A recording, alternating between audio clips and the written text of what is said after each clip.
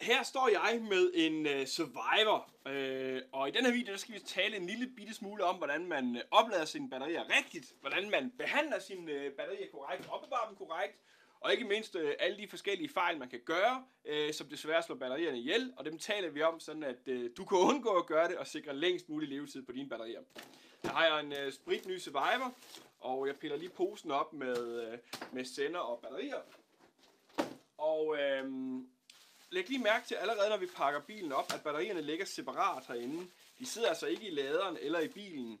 Og det er fordi, hvis man lader dem sidde i laderen eller i, batteri, øh, eller i bilen, så kan de altså blive ødelagt. Det skal vi nok komme tilbage til. Jeg piller lige senderen ud, den skal vi ikke bruge i den her video. Herinde, der ligger laderen. Laderen har en øh, lille tilhørende strømforsyning. Sådan der. Og der er kun én måde at lade sin batterier korrekt op på. Til gengæld er det desværre tusind måder at gøre det forkert.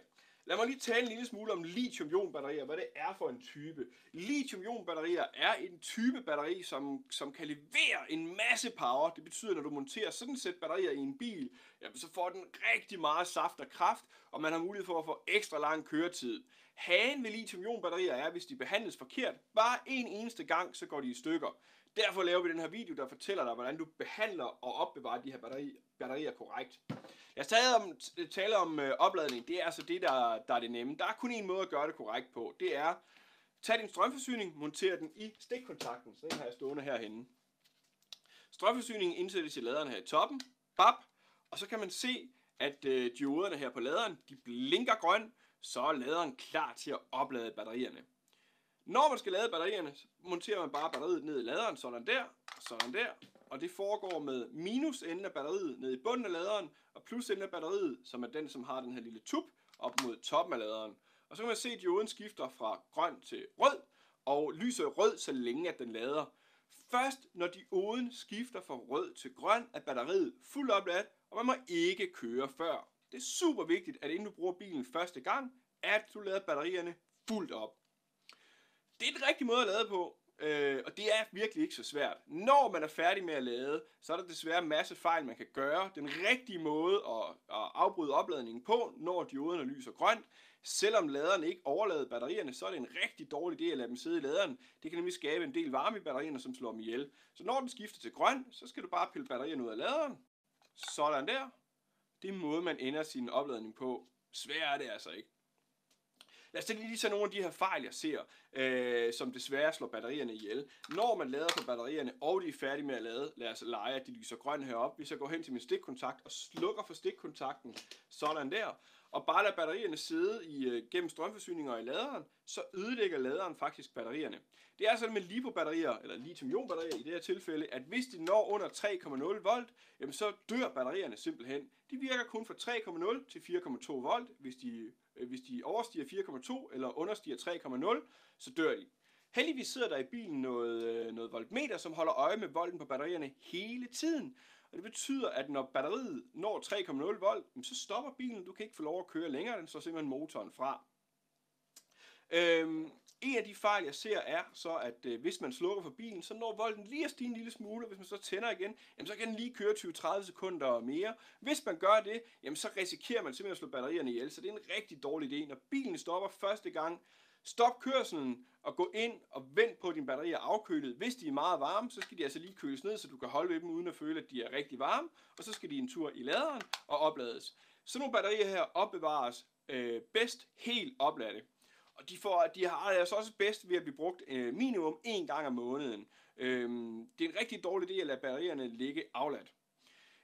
Nu er de her batterier i gang med at lade, og lad os lige lege igen, at de lyser grøn, og batteriet er færdig med at lade. En, en rigtig dårlig idé at gøre er faktisk at hive øh, stikket ud heroppe, og bare lade batterierne sidde i laderen det er lige så slemt som bare at gå hen og slukke for stikkontakten, fordi laderen sidder nu, i laderen sidder noget elektronik, så nu sidder og aflader batterierne.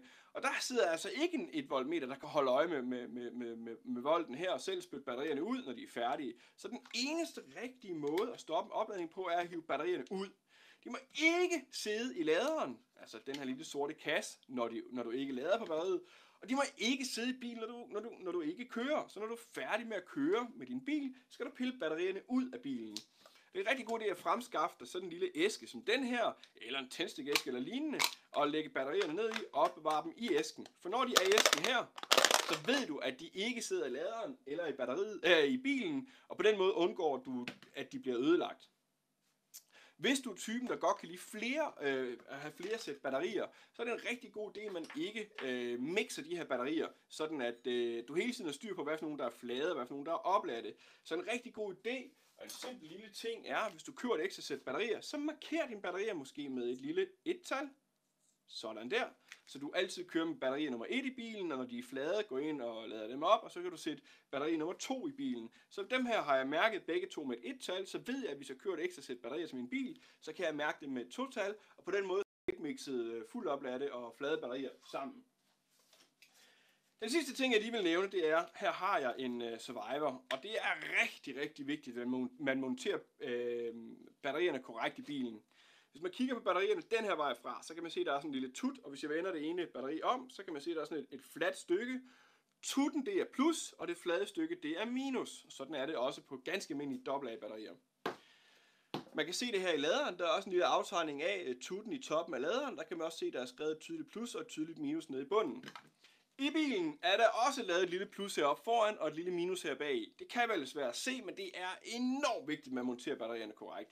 Den flade side er minus. Hvis jeg har bagenden af bilen pegende ind mod mig selv, så er det plus fremad og minus bagud i begge sider. Så det er altså plus fremad og minus bagud i med batteriet. Plus fremad og minus ned mod mig selv og i, i bilen. Hvis man vender det ene eller batter, begge batterier forkert, så risikerer man, at der opstår en kortslutning, som desværre også kan ødelægge batterierne. Så lad os lige tage den en gang til for alle de hurtige. Den korrekte måde at lade på strømforsyningen i stikkontakten, strømforsyningen ned i laderen, og batterierne i laderen, sådan der, sådan der, og vente på, at laderen øh, lyser grønt konstant. Når det lyser rød, er de i gang med at lade. Når den lyser grønt konstant, er batterierne færdige opladte, så pilles de ud af laderen. Så monterer jeg dem i bilen og kører, og så snart jeg er færdig med at køre med bilen, piller jeg dem ud af bilen med det samme igen, venter på, at de er kølet af, hvis de er meget varme, så tilbage en tur i laderen, venter på, at de er ladet op, og når de er ladet op, så piller jeg dem ud af laderen og kommer dem i, i min lille æske. Sådan der. Og så kan jeg pakke mit grej sammen. Så kan jeg tage min lader fra stikkontakten og pænt og øh, fint vrinkle op og komme ned i kassen. Når batterierne ligger i min lille æske, så ved jeg, at de ikke sidder hverken i lader i bil eller i bil, og på den måde undgår jeg, at de bliver ødelagt. Nu ved du, hvordan man monterer og opbevarer og behandler de her lithium-ion batterier korrekt, så at du får mest mulig glæde ud af din bil.